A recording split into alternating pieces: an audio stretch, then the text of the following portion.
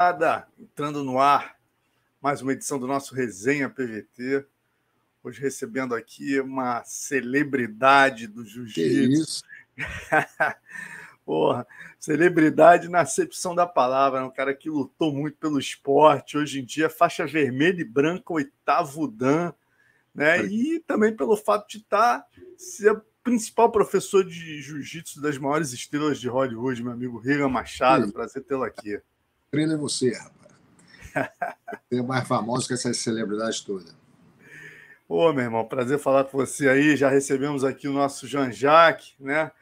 E, pô, tava até falando com o Léo agora há pouco aqui, uma das primeiras matérias que eu fiz aqui com a Tatame ainda, essa primeira edição da Tatame, preta e branca ainda, rapaz. Essa primeira revista Tatame.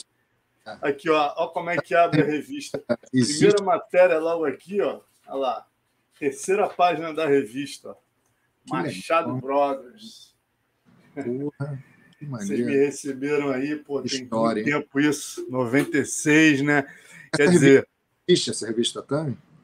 Existe, existe. Pô, eles agora não fazem tanto. É, não tem mais como fazer impresso todo mês, né, rapaz? Tá muito complicado no mercado, mas eles continuam. Agora, né? É, revista online fazem é, com menos frequência, mas ainda existe. Agora, vamos começar. Pô, ah, deixa eu. Que essa história é muito longa aí, eu quero. Pô, quero primeiro entender, né, rapaz? Porque todo mundo fala, os irmãos Machado são, são quase Grace. Né? Explica por que isso. A, a minha mãe, a irmã da minha mãe, casou com Carlos Grace, né? que é o fundador do, do jiu-jitsu, né? um dos fundadores, ele, o Hélio, a família, os irmãos Grace. Né? E. Um... É a Lair, a irmã da sua mãe? Lair, é. Lair aí me tratava que nem filho também. O relacionamento dela e da minha mãe era muito, muito assim, bem único. Então eu me lembro quando era garotinho, minha mãe às vezes a, a, a, a Laí teve filho bem perto da minha mãe. Eu me lembro que ela falou, Laí, dá, dá leite pro Riga, Riga, deixa eu dar leite para para Kirla, entendeu? Então elas amamentavam as crianças até junto às vezes eu amamentava na minha tia, eh, a minha prima amamentava na minha mãe. Então era uma coisa assim, bem. Eh, eu tinha uma conexão muito forte com a Lair. Então, através da Lair, eu, eu, o Carlos, eu, fiquei, eu comecei a me aproximar muito do Carlos, porque o Carlos, na época, é tipo um. Ele fazia nutrição da, da Grace, era um, praticamente um médico, né? E ele é muito chegado à minha mãe. E minha mãe era muito conectada com o Carlos Grace. Então, quando eu era pequeno, eu tinha problema de asma. Eu tinha um problema também de dislexia. Assim, eu tinha problema de aprender na escola. E eu me lembro que o Carlos falou assim: ó, deixa eu cuidar desse garoto, porque eu boto ele para fazer uma dieta, eu boto ele para fazer um jiu-jitsu, boto ele para nadar. Aí eu fui morar com o Carlos Grace. É, é, Aí dali que começou meu treinamento sério, né? Comecei, então dali eu comecei a morar junto com meus primos. Começar a treinar jiu-jitsu todo dia, fazer alimentação, nadava todo dia, fazia aquela dieta do Carlos. E aí dali o Hollis e o Carlinhos começaram a falar, pô, esse garoto tá indo bem, vamos manter ele aqui, que vai ser outro campeão, que sempre tem um cara grande, né? Que na família na época não tinha muito cara grande e esse garoto vai ser um cara grande. Então, quanto é bom ter uns caras tipo o Riga na família. Aí acabou que eu me mudei para o Rio de Janeiro full time. Aí comecei a treinar full time. Aí uh, o jiu-jitsu se tornou. Se mudou por quê? Essa época você morava onde? Minha mãe e meu pai tinham uma casa em Teresópolis.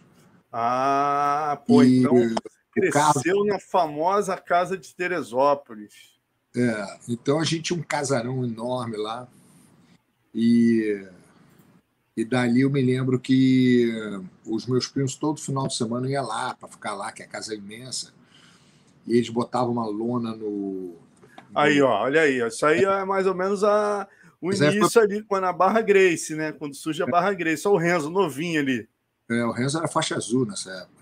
Renzo faixa azul, o Johnny, todos os seus irmãos, Zé Beleza, Zé o, o Crowley, ó, ali em cima, ó, começando da esquerda, Crowley, Zé Beleza, Carlinhos Grace, Regan, Hillion e Carlos Machado. Embaixo, eu confundo sempre o, o, Roger com o Johnny. Esse é o Roger, né?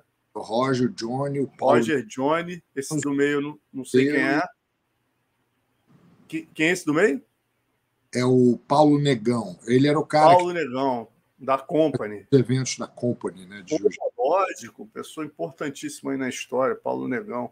Paulo... Enzo Grace, Enzo. Nelsinho Monteiro e Enzo. o Jean-Jacques Baixo. Isso aí é na, na, na, primeira Barra Grace, aquela da casa? Não, na época não é nem chamada Barra Grace. Na época era chamada Grace Club. Grace Club. Ah, com o tempo, é, como tinha em Botafogo a academia do Rickson, tinha outra academia em Ipanema, tinha do Rio Ipanema.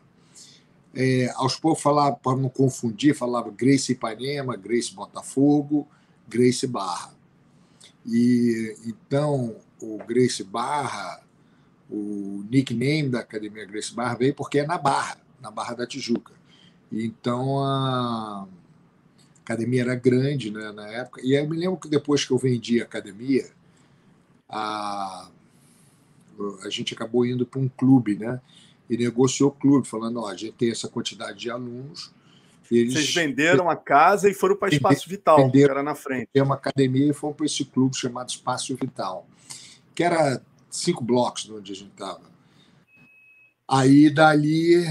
É o, eu fui embora para os Estados Unidos e o Carlinho, o Jean-Jacques, o pessoal continuou com a academia, o Jean-Jacques morava no Brasil, o Jean-Jacques, o, o Soneca. Eu fui primeiro a vir para os Estados Unidos. Aí eu uhum. me lembro que começou Grace Barra, todo mundo chamava de Grace de, da Barra, entendeu? Aí virou, o Grace Barra virou ali, né? começo. Antes, antes só da gente chegar nos Estados Unidos, eu queria abordar contigo, né, que você falou de Teresópolis, rapaz. Teresópolis é um momento muito importante, né, na história da família, na história de vocês. O Léo tem até aí uma foto da casa que o na verdade é um valeu, Léo, uma reprodução, né?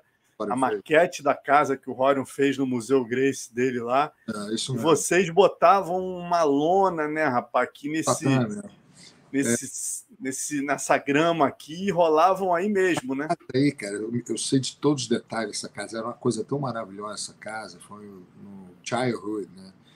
Porque eu tive a chance de ver todos os Graces nessa, nessa casa. Era uma, foi uma fase assim bem privilegiada, vou te falar.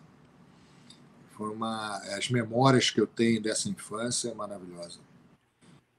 E, e, os treinos também, né, Rigan? Vocês foram muito é, é, construídos aí, né? Porque eles colocavam sempre essa mentalidade de Grace, do Carlos e do Hélio, né? De construir os guerreiros. Era nesse gramado aí que você, pô, calma aí, bota o Rigan com fulano, o Rigan mais pesado, vai com. Aí vai com o primo que tem mais ou menos a mesma idade, né? E ali eles viam quem se destacava, né? Não, não, nessa época. É...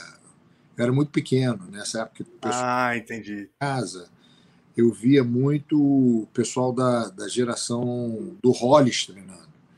É, os alunos do Hollis, o Hollis, com o Rorion, eu me lembro de ver o Rorion treinando, o Reison, eu me lembro ver esse pessoal todo, essa geração é, mais antiga, eu me lembro.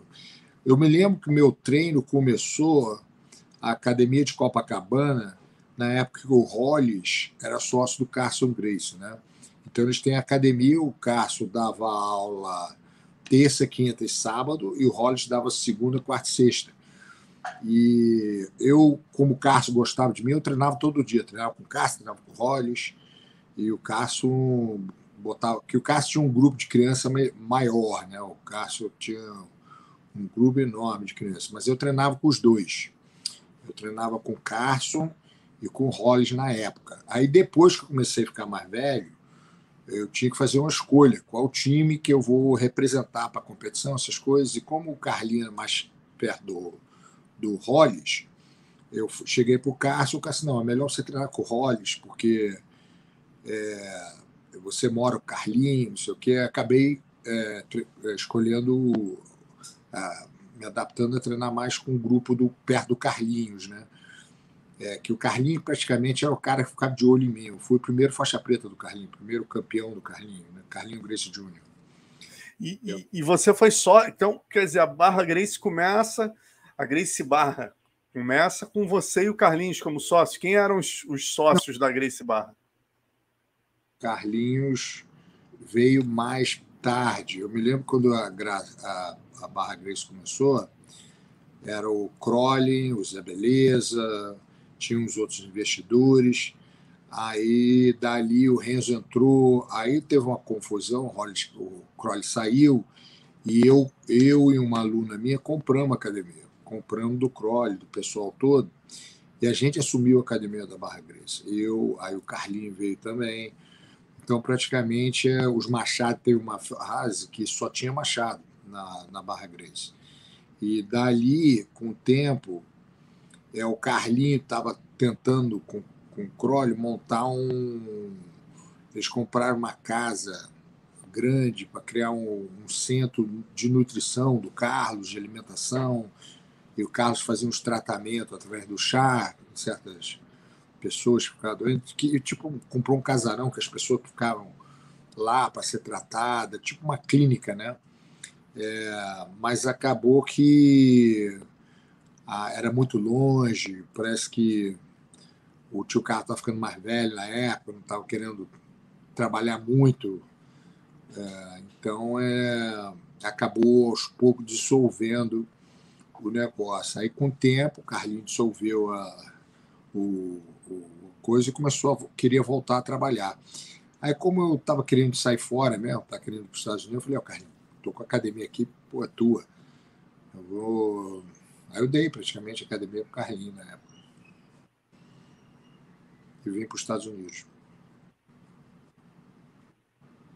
Porra, bacana, cara. E, e, quer dizer, e aí essa fase, né? Como é que foi essa implantação? Você pegou aquela fase de desafios do Grace Action? Como é. é que foi essa fase inicial? E nos Estados Unidos ou no Brasil? No Brasil foi interessante porque quando o Hollis morreu, todos os alunos foram treinar com o Rickson. E praticamente com o Carlinho não ficou ninguém, só ficou eu. Eu e o, o meu irmão Soneca.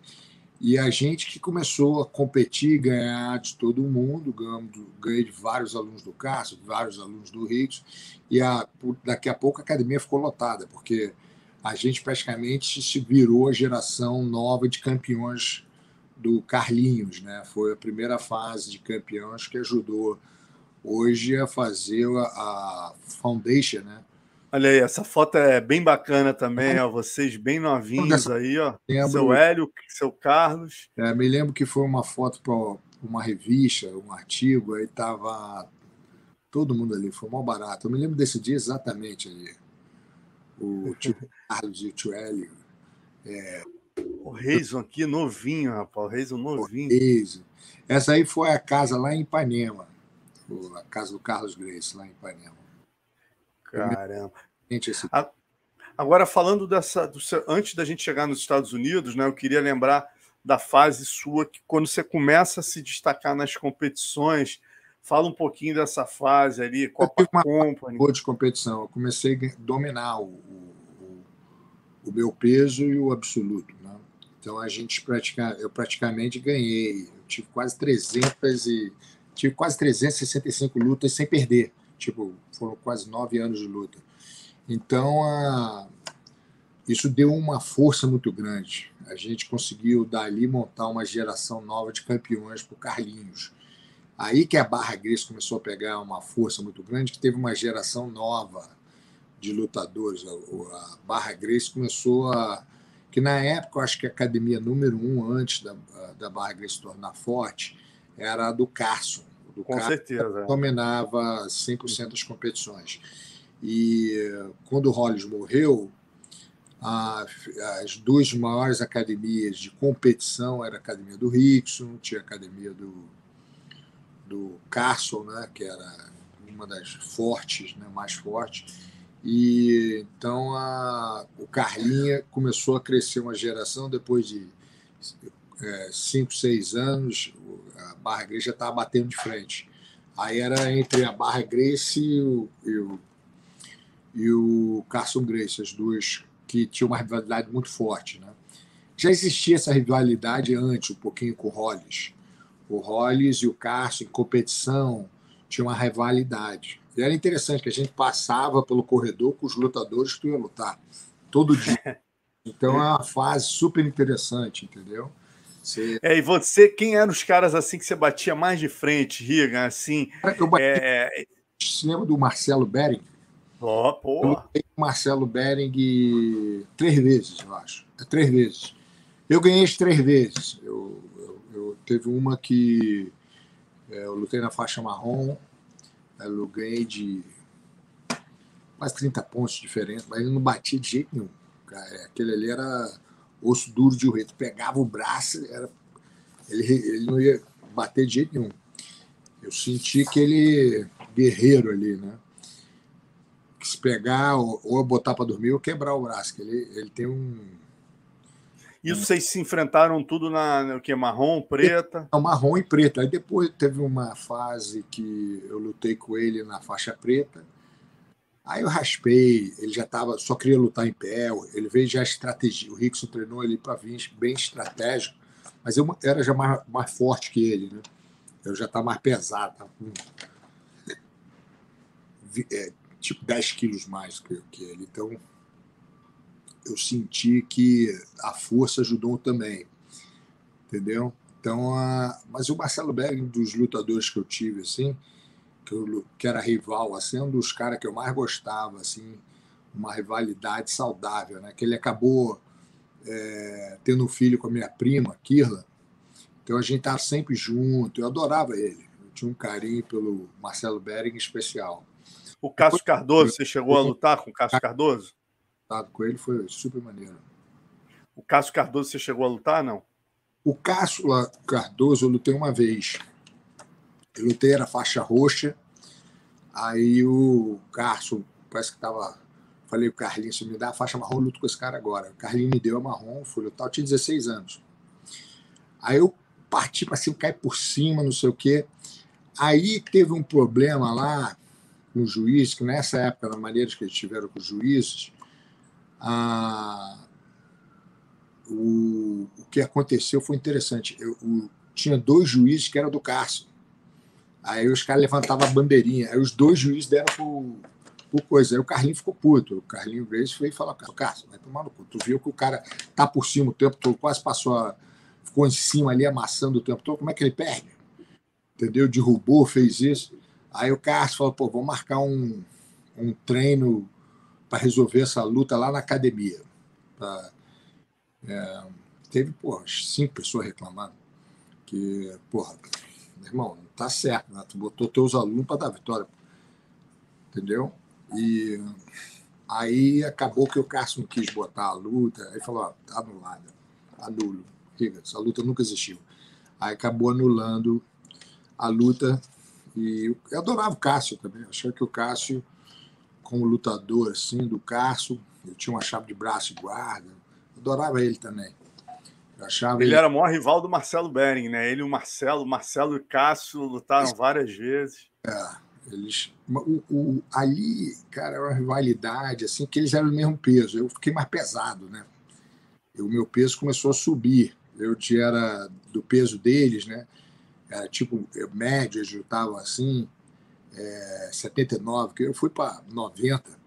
Então, com o tempo ali já, já saí da categoria, comecei a lutar mais com os outros alunos do Cássio, tipo Kaique, o Zé, tinha os outros caras lá, casca grossa. O Murilo era mais novo, né? O Murilo, o Murilo o Murilo da geração veio, mais nova. Estava saindo para vir para os Estados Unidos, o Murilo era faixa azul, pô. Ah, entendi. Então você pegou a geração do Kaique. Treinei com o Murilo uma vez lá, eu já era faixa preta, ele e o De La Riva vieram assim, eu estava um dia lá, fui lá, treinar com, com o Cássio lá, e tava os dois, treinei com os dois, faixa azul, cara. Entendeu? Me lembro. Eu me lembro dos caras faixa azul. Me lembro que o jacaré todo sábado ia lá no Carlinho, levava o. Levava o gel? É, eu levava os, uns três alunos, Alexandre Pai. Travem?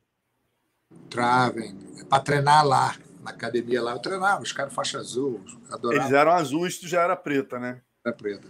Agora, outra, outra história que é, é clássica aí, que você ficou de 8 aos 23 anos, eu acho, sem, sem perder, né? Tava é, muito Não, tempo. Uma fase boa, assim, uma fase boa, mas por trás dessa fase boa, teve uma vez até que eu tive que lutar com o Rickson. Isso que eu ia te perguntar, essa luta na Copa Company e tal, foi, foi uma polêmica, tem até a foto aí é, da, da, da, é, luta. A gente fez essa foto para o jornal, um dia antes. Ah, essa foto foi para foi montagem, né? Eu falei, pô, esse, esse Cataguruma tá muito lindo para ser, não, não, isso... ser foto da outra da luta. Para a revista, para o jornal. Mas o que aconteceu nessa, nesse evento foi uma coisa interessante, porque o Rickson, ninguém não sabe, o Rickson era meu professor, porra. O Rickson me dava aula anos, três, quatro anos, dando aula para mim, para o Jean-Jacques, vinha dar aula para gente o tempo todo, entendeu? Então, pô, o Rickson para mim era meu professor também. Era ele, o Carlinhos, eu treinava com todo mundo, assim. E o Rickson me ensinou muito, melhorou muito uh, o meu jogo é, de jiu-jitsu, que o Rickson era muito focalizado em certos detalhes, detalhista, muito focalizado nos detalhes. Então, ele abriu muita cabeça. que eu, O meu treino que eu fazia, que eu adorava, eu fazia 40 sparring por, por dia, 40 pegações por dia, fazia três vezes por dia. Isso que eu gostava, que me dava aquela toughness, aquela casca grossa para chegar no campeonato. São tá preparado. Eu lutava quase todo final de semana. Campeonato pequeno, campeonato grande, queria estar tá lutando para ficar afiado, né? Então, quando chegou o campeonato da Company, o Rickson a gente escolhia, ó, eu entro no absoluto, eu entro no peso, eu entro no peso de cima. Você... A gente nunca se esbarrava em questão de respeito, que na época ele era o campeão, né? Era o campeão da família e ele representava a família como o número um do grupo. Aí, o que aconteceu? Na final, ele ia lutar com o Ricardo Americano e na final ia lutar com o Palhares, que era um aluno do Rickson, que eu lutei já três vezes. Mas eu já tinha ganho do, do Palhares duas vezes. Então, o Ricardo Americano se machucou. O ombro dele parece que se machucou, ou saiu do lugar, teve alguma coisa que não ia, não ia poder lutar. O evento era um evento, na época, que era muito importante para o jiu-jitsu, que era a fase que estava começando a entrar patrocínios para os atletas, patrocínio para o esporte. Então, a o Hélio falou, pô, meu irmão, os caras quer, os cara da Company quer ver sangue, quer ver uma luta boa. E eu sou, e chegou pro Rick e falou, ó, você vai ter que lutar com o Riga, que é o único que tem aí que dá para fazer um show. Aí o Rick mesmo falou, vou lutar com, com o Riga. Aí, pô, ficou meia hora de conversa, Carlinho, Rickson, Hélio, pá. E chegaram para mim, pô, tu vai ter que lutar com o Rickson. Eu falei, pô, lutar com o meu professor, pô, tá maluco? Eu vou lá e levanto o braço dele. O cara da, do evento falou assim: não, tem jeito nenhum, vai ter que botar para lutar, porque, porra, não estou patrocinando isso, não tem um show, tá toda a mídia aqui, o ginásio lotado, televisão, pô, vai ter que ter, alguém vai ter que se pegar. E eles vão ter que se pegar. Aí chegou um ponto que o Rickson veio falar comigo.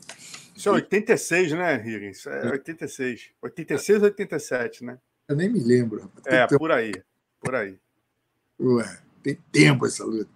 Aí o Rickson veio falar comigo, o Rickson falou: oh, a gente vai ter que se pegar aí, meu irmão. Aí eu falei assim: pô, Rickson, eu, se eu for para entrar no tatame, eu, eu, não vou te olhar que nem um primo. Eu vou partir para cima de você. Tipo assim, eu falei: meu irmão, eu não entro assim nessa de lutar, eu vou partir para cima, eu vou te olhar como um estranho. Aí o Rickson falou, é isso que eu quero mesmo, vamos lá se pegar, vamos lá. Aí eu, na hora, já mudei o clique, eu já não conseguia ver o Rickson como um primo. Eu que já entrei nessa de, pô, vou arrancar o pescoço dele, nessa mentalidade, né? Vou pra guerra. Que agora, mesmo, pô, é, é o que é, né? Fazer o quê? Então, parti para cima com tudo. Aí foi uma pegação, derrubei ele, cai pra Começou ganhando a luta, né? Comecei ganhando porque fui, eu sou, eu sou era muito explosivo o meu jogo. Eu não gostava de jogar. Eu queria partir para cima. Eu acostumado a atropelar. Então, a... o Rick ficou surpreso. Quase joguei ele de cabeça, quase. Aí o Rick, caralho, bicho. Quando ele acordou, já estava o joelho na barriga, pegando as costas, tentando pegar o pescoço dele, caralho, acordando, aí saiu do sufoco, aí ele vinha para cima, já ia para cima dele, ia... aí ficou aquele vem, vai, mas o, o interessante do Rickson, aí que eu aprendi uma lição naquele dia, é estratégia. Ele falou, pô, meu irmão, o Riga que tá nem uma mula cega, deixa ele passar a fase, que a hora que ele der uma respirada, eu vou counter-ataque. E ele fez a estratégia perfeita, meu irmão. Eu atacando, indo para cima. Ele falou, a maneira o Rickson compensa, ele falou, meu irmão, esquece ponto.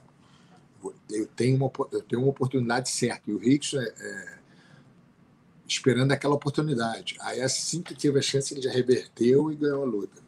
No finalzinho, né? Aí eu. Como? Que estratégia maravilhosa. Eu aprendi pra caramba com aquela luta. Mas o interessante, que para mim. Como que ele te ganhou nessa luta no final? Ele ganhou no finalzinho, ele, ele pegou no lado ali, começou a dominar ali. Eu, o gás já estava. Meu irmão, eu dei um tiro de meta e acabou ganhando ali do lado, pegando no lado ali. Aí, Pegou no estrangulamento? Estrangulamento. Aí eh, ele tinha um estrangulamentozinho ali, curtinho. Mas para mim, eu fiquei amarradão é o seguinte: que para mim, eu nunca pensei em perca, Vitória. Pensei, sempre penso em entrar e dar o melhor que tu pode, né? Tipo assim, tu vai entrar, vamos para a guerra entendeu? Perder é consequência e vitória também. Eu só quero, é claro que a vitória é o objetivo número um, mas não é porque eu, te, eu perdi aquela luta que eu mudou nada, até me melhorou a me tornar até um melhor atleta. Depois daquela luta, ganhei mais 100 lutas depois, entendeu? Então foi um aprendizado de, pô, tinha 18 anos, entendeu? Tipo, naquela experiência de lutar com um cara que era o melhor na época, foi, me abriu minha cabeça para um outro mundo, entendeu? Então eu comecei já a mudar muita coisa no meu jogo, né? Legal, cara. Aí tem essa fase que você resolve ir para os Estados Unidos, dá o clique também. Você viu que já é, tinha dado tudo que tinha que dar aqui. Eu, eu sempre quis vir para os Estados Unidos, desde pequeno. Eu sempre fui apaixonado pela indústria cinematográfica, sempre fui apaixonado em querer viajar o mundo, sempre apaixonado em desafios, né? E quando eu tinha uma noiva que estava vindo estudar, eu falei, ah, meu irmão, vou junto com, com ela. Aí cheguei aqui, o Rório me ligou, eu fui aula na garagem com o Royce, aí o Rickson veio também, foi dar aula em outra garagem. Aí fiquei um ano e pouco ali com o Royce, todo dia, dando aula na garagem, ajudando, que o Royce chegou para mim, ó, vamos abrir a, a primeira academia, vamos... E ali eu focalizando para ajudar né, na, aquelas aulas privadas. É que o Rory dava. É isso aí mesmo. É, essa foto aí, calma aí. Os três estavam aí, né? os primeiros é. três. Isso é na garagem, é? Não, isso foi um seminário, uma demonstração que o Rory fez lá em Hollywood, foi maneiro pra caramba. O Ralph estava aí, até o Ralph. O Ralph estava morando comigo na época. O Ralph era faixa roxa. Pô, tu devia ter quantos anos ali? Tá com a cara de mulher que você e o Royce estão criança aí, ali a gente devia estar. Tá, aí eu devia estar tá com 21 anos. 21 ou 22. O Royce também. Então, a gente E o Rickson já com uns 25, 20, 27, Não, 28? o Rickson devia estar tá com uns, perto dos 29 nessa época. Uns 29. É, já estava no ápice, né, meu irmão? Já estava já tava nos 30 ali. Estava nos 30. E aí, ó, e aí tem essa fase que vocês já começam né, a aparecer. Como é que foi essa virada? né, da batalha inicial, dos desafios, não. até começar a chegar em Hollywood? Não, foi interessante que no começo o Horion fez um lance maneiro. O Royce, o, o, o time do Horion estava mais forte. Estava eu, o Rickson, o Royce, estava uma galera assim mais casca grossa. E não só estava o Royce, mas estava um time melhor. Aí o Royce, Horion começou a, a, a ir para vários lugares é, tipo assim, é, para trazer a gente para fazer o treino com o pessoal. Eu me lembro a gente indo em, na Virgínia lá para treinar com os Navy Seals, eu me lembro. Oh, desculpa aí, apertei o botão errado. Tá, tá vendo aí? Desculpa. Não, agora aí. voltou, voltou, voltou. Voltou normal, desculpa. É, tá normal nada, irmão? Aí a gente foi na base de Navy Sea, foi treinar com lutadores de wrestling, foi no time olímpico de judô. Aí começamos a viajar, treinando todo mundo com Marines lá na. E acabou que ali no chão a gente teve um wake-up call, tipo, um acordou assim, caramba, a gente dominou no chão. Não teve nenhum cara assim que realmente fez frente de no chão.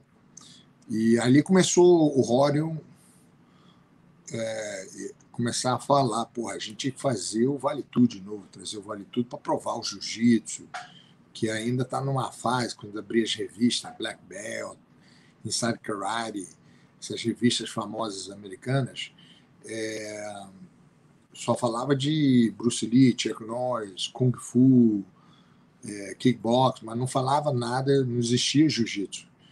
Então, é interessante que dali começou a surgir uma ideia de querer fazer um vale tudo, fazer um challenge. Aí que surgiu o UFC, né? Eu me lembro e, dessa. Mas você, o que é mais impressionante, né? Tem até uma revista que vocês já começam, o pessoal começa a conhecer o trabalho de vocês. Olha aí, ó, Inside Karate, que era uma das principais é, revistas. É, super famosa, né? Inside é, Karate. Você e Jean-Jacques. É, quer dizer, Machado Brothers Demonstrate Unbeatable Street Defense Movies. Sabe o que é interessante? É interessante, porque é, eu já saí na capa de 100 revistas em mais de 50 países. Impressionante. Caramba, cara. É, eu já viajei para 100 países. Eu já dei mais de 700 seminários de jiu-jitsu. Cara, é muita história, né? Não, mas essa, essa fase inicial é, é imbatível, né, Regan? Porque vocês pegaram, vocês pegaram a coisa como você falou. É, hoje em dia, onde você chega, né, depois dessa fase quebrada, depois do UFC e tal, depois de tudo que vocês fizeram, onde você chega, vocês chegam respeitados, né? Qualquer lugar do mundo, tapete não, vermelho, irmão Machado e tal. Agora, você chegou lá quando vocês não eram ninguém, quando o nego olhava e falava, quem são esses latinos aí? Foi engraçado, cara. Eu tenho uma história engraçada para você. Eu me lembro que o Rory, antes do UFC, largou um desafio. Tipo, ah, meu irmão, bota 10 mil dólares, bota 100 mil dólares, a gente sai na porrada, qualquer arte marcial, puta que o pariu. Aí eu me lembro que a minha primeira academia, eu abri uma academia, uma hora da academia de Torrance, do Rory, lá em Ensino, porra. Aí eu tô lá na minha academia, meu irmão, toda sexta-feira, não sei por que sexta-feira, chegava um cara lá querendo me desafiar para sair na porrada.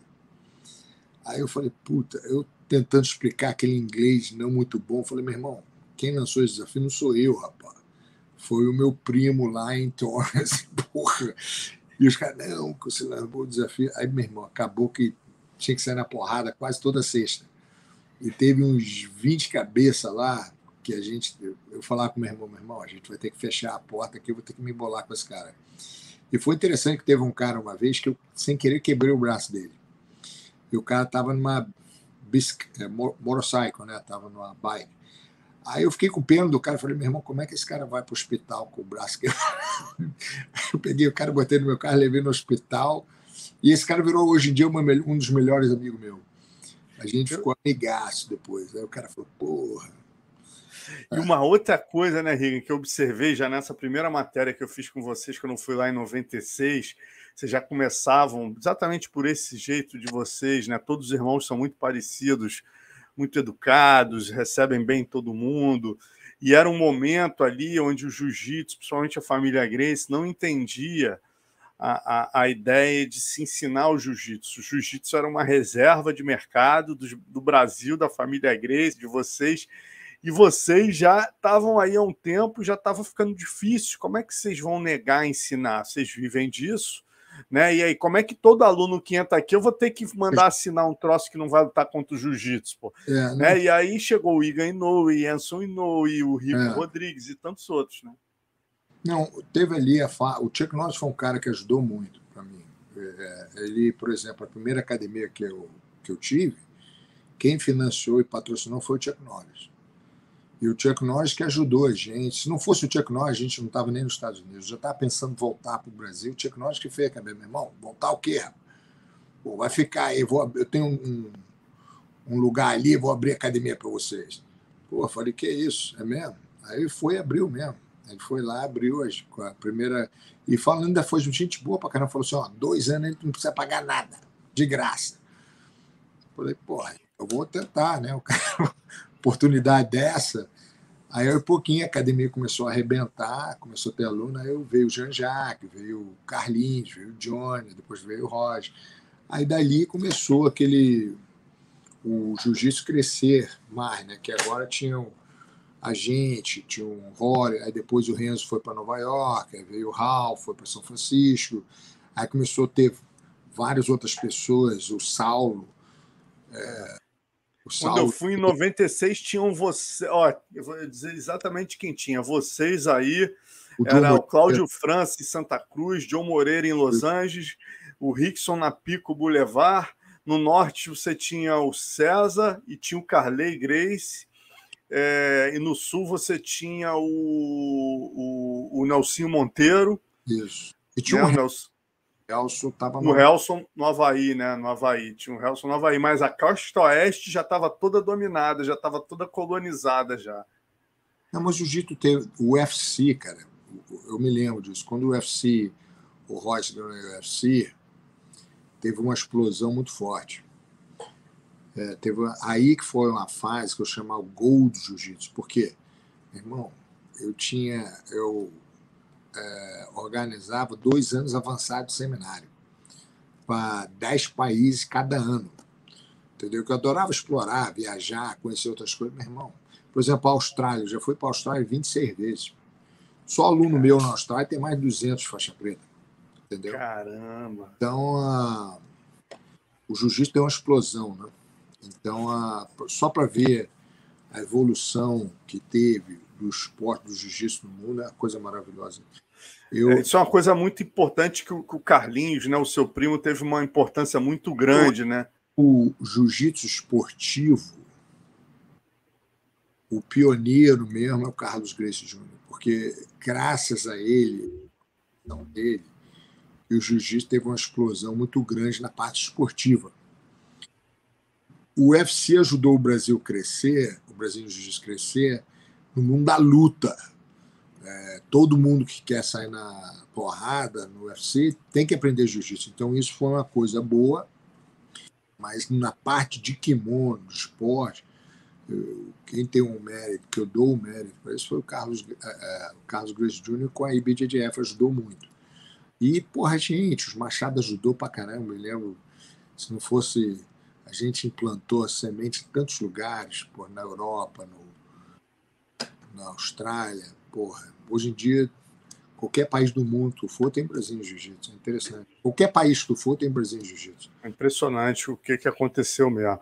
É, agora, falando essa parte do cinema, né? Vocês conseguiram uma entrada, talvez graças ao Chuck Norris, né? Não. Que, que... Não, não. Aí foi coincidência. Eu abri uma academia em Beverly Hills. E uh, o meu primeiro aluno foi o, o Ashen Kutcher. E como a minha academia era pequenininha, eu estava com um problema que eu descobri que a cidade não deixa eu parquear muito carro perto da minha academia. Aí eu comecei a falar, meu irmão, aula em grupo aqui não dá. Se eu tiver cinco carros lá de fora, os vizinhos vão reclamar. Então, o que funciona para mim é botar aula depois das sete e tinha que dar aula privada o dia inteiro. Então, a aula privada é que arrebentou. A aula privada eu pegava 70 alunos por semana, 60 alunos. Porra, aí o meu preço era de 150 dólares, subiu para 250, 350, agora está 500. Então, eu tenho, hoje em dia, menos alunos, mas eu cobro mais caro, entendeu? Então, eu tenho mais tempo a, ah, esse é o Keanu Reeves, né? Esse foi o Keanu, né? Quando eu trabalhei é. com aquele filme John Wick, eu treinei ele durante seis meses para esse filme. É assim... E a coreografia, ajudei a fazer luta, né? Uhum. Aí esse, esse, é o Ashton Kutcher, né? É o Ashton Kutcher vem treinando há uns nove anos já. Já tá faixa marrom, pô. Faixa marrom. Bom pra caralho esse cara. Neguinho.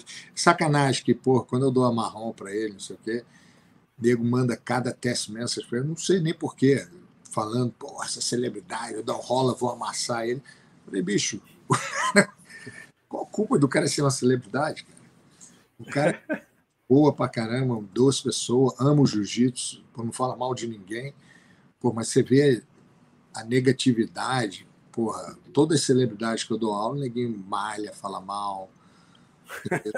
Eu falei, cara, porra, é ser humano que nem, que nem qualquer outra pessoa, entendeu? Exatamente. Mas, mas vocês têm ainda participação, né, Regan, de não. vocês participarem em filme. Não é só dar aula para celebridade. Vocês começaram a participar fazendo coreografia. Tem não, até vou... Bad Boys from Brasil. Queria que tu falasse não, disso. É o que, o que aconteceu. A Hollywood, para mim, eu nunca quis trabalhar em Hollywood. O que aconteceu começou com o Chuck Norris. Chuck Norris, porriga. Me ajuda a fazer uma luta aqui. Eu quero botar o jiu-jitsu aqui no Texas Ranger, um show dele. Né? Aí ia lá, ajudava ele a dar um armlock, um triângulo. Daqui a pouco o Steve Seagal ligou.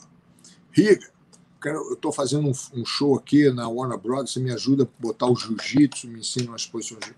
Aí eu fui lá como advisor, ó, faz esse armlock aqui, esse, essa posição de chão aqui. Aí daqui a pouco começou todo mundo ligar para mim. Aí eu falei assim, pô, meu irmão, os caras pagando bem pra caramba. Eu falei, eu vou ter vou estudar essa porra, vou aprender. Aí, como dentro dessa indústria, você vai aprendendo uh, o que, que você faz. Como assim? Você começa o mundo dos stunts, do dublês, dos caras que aprendem a cair do carro, cair da, da, da motorcycle, tomar um soco, cair da mesa, cair da escada. Aí dali você vai aprendendo os caras que sabem brigar, que sabem fazer ação e reação, entendeu? Tem um trabalho de wire, né? Um, do cable, que você dá um soco no cara, o cara voa em cima do carro. Aí você, você vai aprendendo essas técnicas todas, como fazer, como. É, é como se fosse uma dança. Você aprende a fazer aquela dança pro filme. Entendeu? Entendi. Então eu comecei a fazer, me tornar fight coreógrafo, o cara que faz a dança, até chegar a me tornar um stunt corneiro. Stunt corneiro é o cara que faz toda a ação do filme. O diretor chega para mim, Riga, eu quero assim, assim, assado no script, faz aí, se vira. Eu vou e faço. Boto tudo organizado, boto o time junto, faço tudo, pá, tá aqui. Aí o cara já vai pronto para filmar, entendeu? Aí depois tu vai subindo até chegar a ser é, Second Unit Director. Second Unit Director é o, é o, segundo diretor, que só filma ação. Ele que é o diretor de, das partes de ação. E o diretor filma as outras coisas, mas tudo que é ação, é o Second, second Unit Director que faz. Então, tô, tô chegando nesse nível agora. Aí, que, aí depois que eu conseguir fazer uns três, quatro filmes como Second Unit Director, eu vou, quero dar o passo mais forte, que é o diretor. Só de filme de ação e coisa. Então, tô chegando. Eu já vou dirigir alguns filmes agora como Director of Action. Entendeu?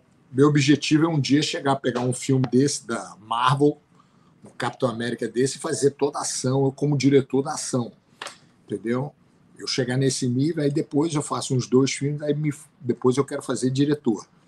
Só de filme de ação, isso, car chase, explosion, essas coisas aqui é maneiríssimo, né?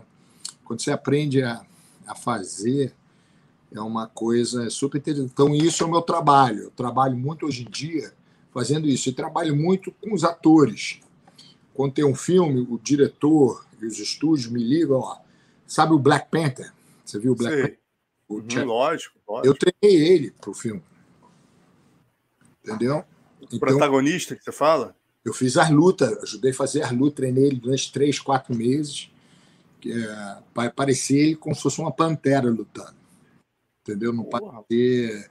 Ele não pode parecer que nem um lutador de kickbox, não. Tem que lutar meio animal entendeu? Tipo uma ginástica natural dando porrada nos outros. É isso que eu ia falar, Alvinho aí, né?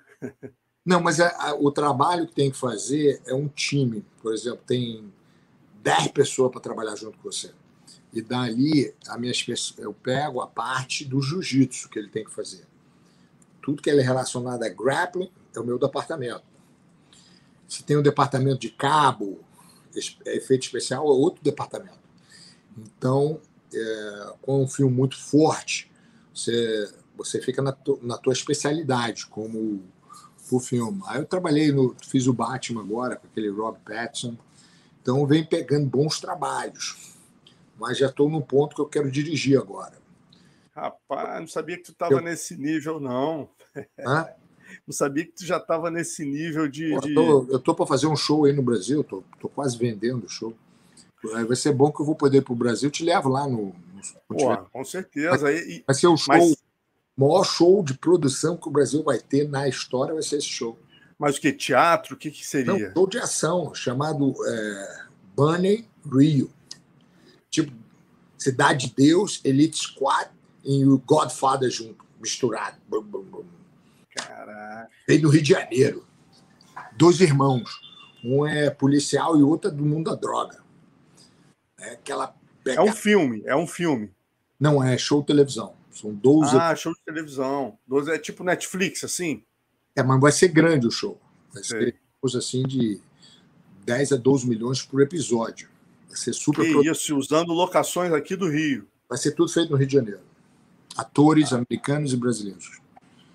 Já tem o nome do filme? É o show chamado Burning, Burning Rio. Pegando Fogo, Rio de Janeiro. Ah, Burning Rio, Burning Rio. É. Caraca. São dois irmãos, com historinha maneira pra caralho. Eu que escrevi a história. Eu que fiz a história. A historinha sobre um. O que eu, o que eu fiz foi o seguinte: eu quero fazer um show no Rio de Janeiro, mas americanizado, em inglês e português. Eu peguei a Cidade de Deus, peguei o Elite Squad e botei junto.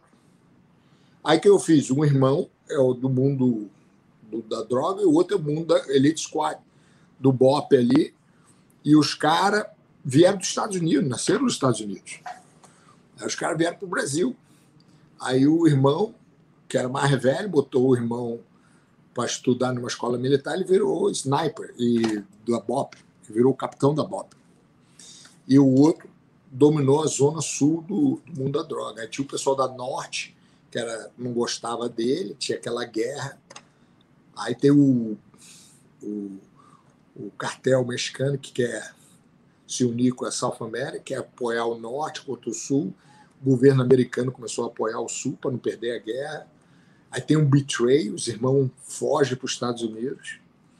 Os irmãos se unem pela primeira vez, que o cara é especializado em é, militar e o outro é drug dealer. Eles se unem e viram a força. Eles voltam, matam todo mundo, tipo um Godfather, e viram a maior potência do mundo da droga e declara, no final declara guerra, né? Contra o cartel mexicano. Aí o bicho pega o tempo todo, bicho. Tiro. Rapaz, é Ele... Burning Real total o negócio. É, tipo, a história é Godfather, máfia, mas bem feito pra caramba, americanizado. Os garotos nasceram. Já foi aprovado isso, Rira? Já foi aprovado? Cara, eu tô há seis anos nesse projeto. Eu fui escrevi tudo, né? Fez o show todo. Aí tem uma agência aqui chamada CAA. Ela gostou do show. Aí eu peguei um cara, um aluno meu, que fez o, um, dois shows para HBO chamado Entourage. E fez outro chamado Bolas, com aquele The Rock para uhum. HBO. O cara que produz, o showrunner que chama. Aí pegamos esse, uma companhia chamada Mad Jax, que era outro aluno meu, aí uni todo mundo, aí todo mundo contratamos uma escritora que nasceu no Rio de Janeiro, é, chama Sabrina, mas americanizada, né? Na, na, morou aqui, veio para cá com seis anos de idade. Então ela conhece um pouco o Brasil, então ela ajudou a reescrever tudo. Agora está na fase de terminar de escrever todos os outros episódios e pô, já tem agora uma produtora super grande, pô, aí vai vender. Quase vendendo, mas é produção grande o show. Não é um show pequeno. E eu sou o criador e produtor do show. Então, para mim, vai me botar numa posição bem elevada em termos de criar. Eu vou botar jiu-jitsu para caramba. Vou botar. que maneiro. Tô, tô fazendo. Tô curioso para ver. Isso. Entendeu? Sobre tô... o que o documentário? O documentário que estou fazendo, cara, Porra, meu irmão, tá maneiro pra caralho esse documentário. É baseado. Eu tinha um amigo meu chamado Paulo Tocha, que é da Tailândia, da, de Muay Thai. Aí eu fui na Tailândia, eu tinha um, uma arena lá chamada Lupia Arena, que é a meca do Thai Box no, na Tailândia. Porra, a mulher não pode nem tocar nas cordas. Aí o cara estava me falando que pela primeira vez na história vai ter duas mulheres que vão lutar naquela arena, que era proibida. Mulher não podia nem tocar nas cordas. Aí eu falei, peraí, bicho, eu vou documentar essa porra.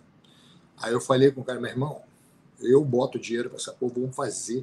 Aí contratei um time americano, o time da Tailândia, pô, o cara lá, já entrevistamos 49 pessoas. Acabei até de entrevistar aí no Brasil a Kira Grace entendeu? Que foi a primeira Grace. É só de mulher. Então essas mulheres estão filmando. Vai arrebentar um assunto totalmente em voga. A luta vai ser daqui a duas semanas. Mas vamos entrevistar a Ronda Rousey, todas as lutadoras aqui do mundo, a Lucia, que foi campeã mundial de boxe, é, altas lutadoras de várias áreas, né? E é baseado no sucesso das mulheres. A gente comprou materiais de milhões de pessoas no passado, falando coisa histórica da dificuldade das mulheres ser lutadoras, e hoje em dia elas overcome e se tornam lutador no mundo inteiro, não é só no UFC. Muito legal a ideia, hein, Riga? Isso e... aí é para qualquer país, porra, vai ser interessante. Você vem de qualquer lugar. Todo... Mas dali a gente quer O assunto é do momento é o empoderamento feminino, porra. né, cara? Então vai irmão, vender A gente lugar. Tá negociando com a Halle Berry, aquela artista, para fazer a voz ou o inteiro. Muito gente... legal, bicho. Todo Agora, você, é uma curiosidade aqui, né, rapaz? Quando a gente fala, tem aqui a, até mandar um abraço aqui para a galera que está com a gente, ó. Galera, vamos lembrar de curtir o vídeo aí, ó. Vitor Bagotelli, Plínio Marcos, Pedro Rodrigues sempre com a gente aqui, Diego Reis, Corujão, todo mundo aqui falando, porra, mestre, tá amarradões aqui com as tuas histórias. Vamos curtir o vídeo, galera. Lembrar de curtir o vídeo. E, e, e cara, tem gente aqui brincando, né? Que o Chuck Norris é ídolo, tem até piadas que falam, né, cara? que o Chuck Norris. Chuck Norris é. é de todos porra, bate todo é mundo, é o deus da luta tal. Como é que é o Chuck Norris, na verdade, assim, cara? Vou te falar um negócio: tem dois caras que eu respeito. É o Chuck Norris e o Mel Gibson, brother. São os caras assim que, porra, dando aula para os caras, os caras tá. Chuck Norris é aquele cara, meu irmão passando na rua, o cara tirar onda com ele, ele sai na porrada mesmo. Não é um cara assim que leva. Não é personagem, não, é aquilo mesmo. Irmão, o cara é, é vem de. O cara é tough, cowboy, o cara é casca grossa. Mas sabe quem é casca grossa pra caralho? É o Mel Gibson, rapaz. É mesmo, é aquilo. Então incorporou o personagem. Não, o Mel Gibson, cara, ele tem uma personalidade forte pra caramba. É um cara maneiro pra caramba. Eu não eu, conheci ele como ator. Depois fui dar aula, fiquei amigo dele, pô. Ligo para ele, a gente sai para comer, eu tenho, porra, vou na casa dele, o cara me adora. Aí eu tava um dia, eu fiz a cabeça dele, pô, Tiago, vamos lá no UFC, vamos lá no UFC, vamos lá. Aí o Tiago, tá bom, eu vou nessa porra, vamos embora. Aí pegamos um avião dele, fomos pro UFC, levou a, a, namorada dele, eu levei minha prima. Aí chegamos lá, não sei o quê, porra, assisti a luta do do McGregor e o, o, e o Conor. McGregor não, é o Conor e o Khabib. Khabib. Porra, vocês foram, vocês foram nesse dia mais louco da história. Tá na porrada na nossa frente. Aí eu falei, Tcheco, mas eu não acredito que ninguém vai te incomodar aqui. Mas por causa das mulheres, vamos pular para fora lá. Os caras levaram a gente pro lado errado. Eu falei, tinha que não, pô, vou levar as mulheres dentro do carro no lado errado, cheio de gente lá de fora. Eu falei, meu irmão, vai ser foda, celebridade, mais de 100 pessoas aqui, vai ser uma merda. Aí ele veio as mulheres e falei, Chuck não, agora eu não sou teu amigo. Chuck ou Mel Gibson? Mel foi? Gibson, desculpa. Mel, Mel Gibson. Eu falei, Mel Gibson, porra, agora sou teu segurança. Vambora, porra, vai ser. Você vai ter que atravessar essa merda aqui. Meu irmão, tinha nem querendo agarrar ele, eu tive que derrubar o cara um no chão. Aí quase entrando na porta, o cara veio que eu dei um outro quedão no outro cara. Falei, meu irmão, fica no chão aí. Aí entrei no carro, assim. Aí eu tinha o Mel Gibson amarradão. Aí eu me lembro que o meu, o Mel Gibson falando assim, eu Helena, se ele coçando a barba dele assim. Eu falei, qual, qual é a arma? Ah. Aí ele falou, não, cara, não queria sair, não. Eu falei assim, como assim? Não queria ir embora da, da padaria? Não queria ter ficado mais tempo lá. Aí eu falei, por quê? Porra, eu queria dar um soco em alguém, cara. eu falei, que isso, rapaz? Tu não pode dar soco em ninguém, não, rapaz. Tu dá um soco em alguém, tá, rapaz. Tá maluco? É. Ele, é, ele é aquele cara, meu irmão. Tu, ele é celebridade, meu neguinho tirar onda com ele, e sai na porrada mesmo, não quer saber, não. Coroa casca grossa, né? E o Steven Seagal? Steven Seagal? Popeye, o braço dele assim. É, né? Coroa casca grossa dele. O Steven Seagal, tu não teve tanto contato, não. O Steven Seagal, assim. Pô, ele faz esse estilo. Adoro. Faz esse estilo assim, né, meu irmão? Diz que deu aula pro Lioto, pro, pro Anderson. Eu vou te falar um negócio. Eu adoro o Steve Seagal. Eu me dou bem com ele pra caralho. Me liga direto. Eu adoro ele. Gente boa pra caramba. Entendeu? Grandão assim, mas pô, quando tu, tu conhece a pessoa, assim, você passa aquela pá, fase número um da celebridade. Quando conhece a celebridade, eu já pô, conheço mais de 400 celebridades, então celebridade para mim não é big deal, entendeu? Então quando conhece a pessoa, você passa daquela fase. Tem uma tipo um muro, você passa daquele muro e você vê a pessoa normal. Aí é mal barato, aí tu conversa, viaja, vai comer, liga pro cara, o cara te liga, pô, vamos aqui em casa, porra. Aí fica um ambiente maneiro. Aí tu conhece a celebridade como ser humano. Aí que é legal. Agora, o Jean estava me contando, Rigan, que vocês também tiveram na frente das câmeras, né? Teve um filme que fizeram, The Bad Boys from Brazil, se eu não me engano, que eram vocês, irmãos Machados. Cara, na... isso começou de brincadeira. Cara, sabe quantos filmes eu fiz? Já trabalhei em 30 filmes como ator. De frente da câmera ou como roteirista? É, trabalhei como ator. Já trabalhei, já produzi alguns filmes, alguns shorts. É, já trabalhei em vários filmes como Stanley Corneiras, essas coisas todas. E agora estou numa fase que eu estou atuando como ator e como o cara que desenha a ação do filme, entendeu? Mas esse Bad Boys from Brasil era a história de vocês, né? Como é que foi essa, essa experiência? Irmão, o filme não tinha nem script, tu sabe? Pegou um maluco lá, um asiático, vou fazer um filme aqui. Eu falei, cadê o. Tem que memorizar a coisa? Não, improvisa, rapaz, vai lá. Fala o que você quiser, fala em português. Pô, chegava lá, falava, pô, não tinha história sem pé, porra, o cara ainda vendeu o filme. vendeu. Esse filme vendeu. tu encontrava aí, rapaz, tu encontrava Bicho, em alguns lugares aí. Fez um filme sem ter script, sem ter roteiro. Esse foi um filme maluco pra caramba. E qual era a história? Vocês, irmão Machado, eram mal ou eram bons? Bons, era bom. A gente chegou para ajudar um tio que os caras locais é, roubavam a fazenda, tomar a terra, as coisas assim, coisa de fazenda. A gente já chega assim, descobre que a polícia está envolvida, o governo, Aí começa a na porrada. Pinta a cara sem razão. Falei, por que a gente tá pintando a cara? Ah, não sei, sai pintando aí, vê que bicho dá. E sai dando tiro nos outros. Puta que... Só maluquice pesada, hein, meu irmão? Entende a indústria, não sabe o que tá fazendo. Então aquele filme ali é uma. tão ruim que, pô, é bom. O pessoal é, essa tá risada. Que isso. Agora, Rigan, falando um pouquinho também da. Voltando aqui para as competições, né, cara? Ah, eu lutei comp... sambo, né? Tu soube disso, né? Hã? Eu lutei um esporte chamado sambo. Ah, isso que eu, quero, não, eu quero falar disso também. Você lutou sambo e você lutou os dois primeiros pan-americanos, ganhou peso ah, absoluto. Eu fui campeão mundial de sambo.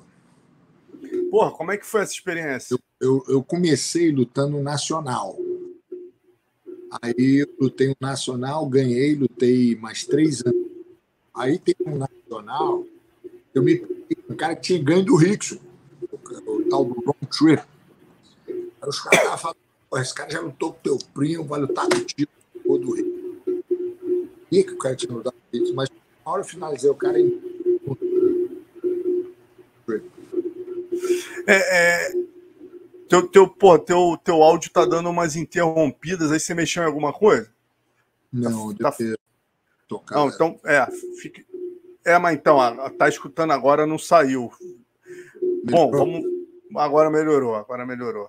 Melhorou? Então, então, só, só para entender, as regras do sambo permitem finalização? É, qual a diferença para o judô? Judô, Você cai no chão, você tem 15 segundos para tentar finalizar. Então, tudo que eu praticava é tentar finalizar em 15 segundos. Então, eu chamava é, catch submission. Não tem tempo nem de fazer, é, é pegar a posição direta, o braço ou isso, aquilo. Mas na regra de sambo, é o, você pode atacar a perna. Você pode atacar a perna e o braço, mas não pode dar estrangulamento. No judô é o oposto. Você pode atacar o pescoço e o braço, mas não pode atacar a perna. Então, e é uma mistura de judô com wrestling. Você luta de sapato no sambo. Você e tem... você fez quantas lutas para ser campeão? Eu lutei no, no Nacional, teve o máximo para ser campeão é cinco lutas. Eu, eu já fui campeão com quatro, já tive campeão com cinco. Aí depois no Pan-Americano, eu tenho três Pan-Americanos, ganhei os três, finalizando todas as lutas. Era quatro, cinco lutas, mesma coisa. Aí o Ron Tripp comprou minha passagem. Falou, Riga, tu tem que lutar na World Cup, na Holanda. O Ron Tripp, que é esse cara que ganhou do, do Rickson. Comprou passagem, falou, vem com o time americano.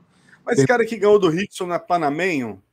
É, foi uma coisa assim, ganhou do Rickson. Ah vantagem, alguma coisa assim. Ah. Uma queda, alguma merda. Ah, na Gama Filho, não foi isso? Não, não, foi, foi aqui nos Estados Unidos. Ah, tá. tá. É. E aí, aí, ele te, te levou para onde? Aí eu fui para Holanda. Na, no World, não fui para Holanda, não fui para Inglaterra. Aí fui para Inglaterra, aí eu lutei, ganhei todas as lutas, finalizei toda a luta, aí lutei na quando eu fui lutar na final, os caras me sacanearam. Eu lutar com o cara da Rússia. Aí o juiz chegou para mim: ó, se você levar a luta para o chão, você é automaticamente desqualificado. Você só pode lutar em pé na final. Que era mentira, eu não sabia. Aí depois o time americano falou: pô, que isso? Como é que o, cara te sacaneou? Aí eu quis lutar em pé, o cara ganhou num, numa, num ponto, uma vantagem, sei lá, merda assim, ganhou a luta. Eu fiquei muito puto. Eu falei, ah, é, filha? Aí voltei na lutar na Holanda. Aí na, na Holanda eu, eu fui lutar, eu ganhei. Eu fui campeão. Lutei, ganhei o cara da. Na final, o cara da Inglaterra. E aí depois fui lutar na, terceiro, eh, no terceiro campeonato mundial de sambo. Eu fiquei com o terceiro, machuquei a costela. Minha costela deu um, cartilagem quebrou. Eu tive até ir para o hospital depois. Eu lembro, falando em machucar, cara, eu lembro que no aí você campeão pan-americano, peso absoluto, sair clássica e, e, também no ADCC, eu queria falar do ADCC que eu tive no primeiro, o meu primeiro ADCC foi o de 99, o primeiro foi 98, eu não fui. 99 você foi, você lutou, né? E teve algum, como é que foi? Eu você tive uma luta, eu tive uma que eu estava com a costela meio machucada. Foi com o, cachorro, o cachorrão. Cachorrão. Ele puxou para a guarda, a costela tripou de cima da outra. Assim. Eu falei, caralho, não consigo. até falei assim, o bicho nem mexe, por favor. Ele parou, foi super doce comigo, parou. Eu falei, meu irmão, quebrei a costela. Aí o, dali, mesma locação que tinha machucado antes, a costela fez isso, trepou em cima e ficou trepada. Aí eu sentiu, pô, fazer uma facada. Né? Aí eu falei assim, meu irmão, pô, não dá para mexer.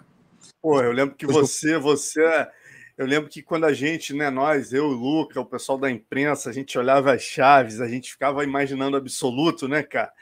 A gente falou, pô, não vai ter jeito, o Brasil vai ganhar, porque você tinha Fábio Gurgel, você tinha Renzo Grace, Riga Machado, é, o Jamar ia fazer super luta, mas tinha o Roberto Traven, Falei, meu amigo, esse. Maneira ali. Ele vai matar o Marquinhos no caminho só de cansaço. O Marquinhos pegando essas pedreiras. Eu lutei com ele uma hora de luta, foi foda. Aonde? Eu lutei no Abu Dhabi. Foi, não sei se foi o segundo vez que eu lutei. Eu cheguei na semifinal com ele ah, para disputar ah, de ouro, de, ou vai para ouro ou vai para bronze. Aí eu falei assim, porra, eu não vou conseguir derrubar esse cara. O cara com é, 30 quilos acima de mim. Aí eu falei, porra, o que eu vou fazer? Eu vou esperar a hora certa, vou puxar para meia guarda, na hora, nos últimos minutos, vou raspar esse filho da puta, vou fazer os pontos para ganhar. Eu raspei.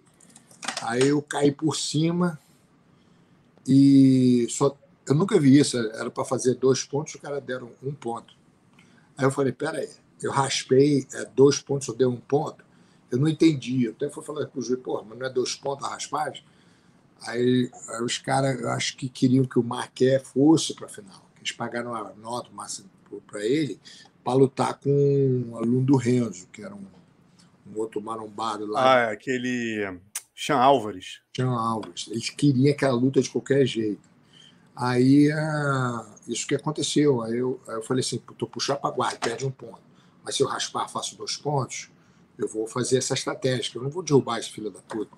De jeito nenhum, cara bom de wrestling. Aí eu fiz a estratégia, deu certo. Aí o Marquinhos até falou, porra, desculpa aí, Riga, entendeu? Eu falei, desculpa nada, você é luta. Pô, bola para frente. que eu, Uma vez eu lutei também com outro West, que na final, quase na, na semifinal. Porra, o cara fugindo o tempo todo, uma hora de luta. Aí eu falei, ah, bicho, vou ter que lutar o Wesley com esse filho da mãe. Aí no final ele deu um, uma single leg, caiu por cima ganhou. Aí parece que ele foi para a final lá, lutar. Eu esqueci o nome do cara, Manumbão.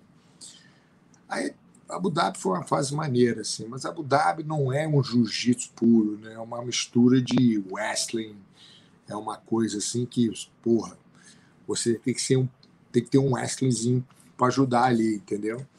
Não pode só ter o jiu-jitsu, que se puxar para guarda perde ponto. É o Wesley suado ali andando para trás, é difícil fazer alguma coisa. Agora, Rigan, deixa eu te perguntar, como é que você vê né, essa evolução atual do jiu-jitsu, exatamente com, validando ataques a pé e joelho, coisa que vocês não podiam fazer na sua geração. Hoje eu vi até uma foto sua com o John Donahan, falando admiro muito esse cara no seu Instagram, né? O Donahan é um cara que está revolucionando aí. O John Dennerhu, John Dennerhu, tá escutando? Estou te escutando, aham. É um doce pessoa, cara. Eu conheço, eu vi, eu me lembro do John Dennerhu, o Renzo me falando dele há anos atrás. Ele ajudou o Renzo a escrever um livro, cara super calculista, super metódico, um excelente professor. E o jiu-jitsu tinha um buraco, né? O jiu-jitsu, o buraco da regra era chave de pé, chave de calcanhar. Porque na, na regra do jiu-jitsu, não pode fazer não pode dar chave de calcanhar e não pode dar chave de pé. De uma certa maneira, não pode torcer o joelho. E até hoje eu acho que não pode, na regra do IBJJF. Né? Então, com a regra de Abu Dhabi, eles querem que se foda, pode fazer o que quiser. E, e começou a aparecer agora vários eventos, tipo do Abu Dhabi, do Challenge, no Gi, não sei o quê. Então, permitindo fazendo isso. Então, nesse mundo aí surgiu oportunidade por, por, por uns caras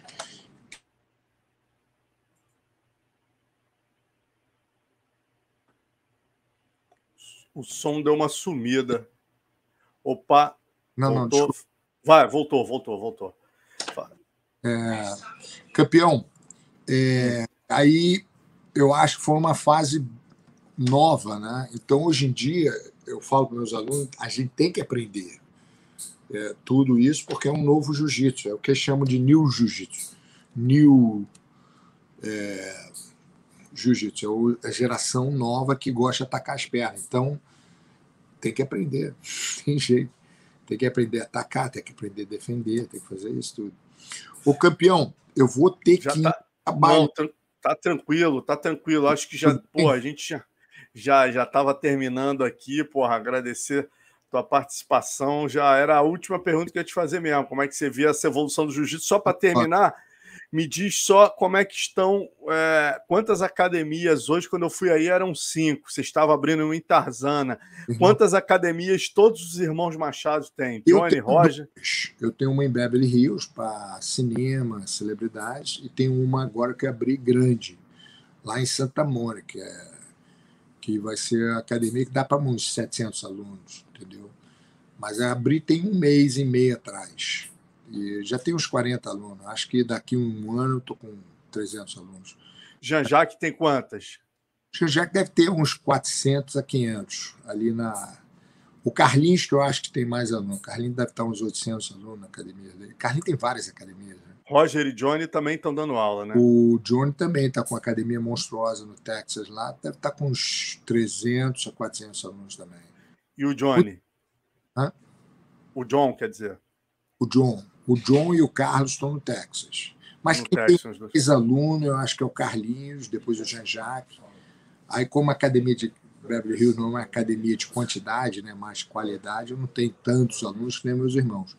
Mas essa academia nova que eu estou abrindo, eu quero ter uns 500, 600 alunos. Acho que daqui um ano, dois anos, eu chego lá. Maravilha, mestre. Deixa eu te liberar. Foi um prazer tê-lo aqui. Uma aula. Muito obrigado. Prazer meu. Você é sempre uma honra para mim. Tá? Vamos manter contato, porra. Vamos sim, vamos sim. Qualquer novidade, eu te dou uma ligada aí. Conta assim, quando chegar com esse filme no Brasil, conta pra gente que eu quero acompanhar essas filmagens aí. Ah, no set, quando estiver filmando, tu vai estar tá lá pro behind the scenes. Tô lá. Valeu, Riga. Abraço.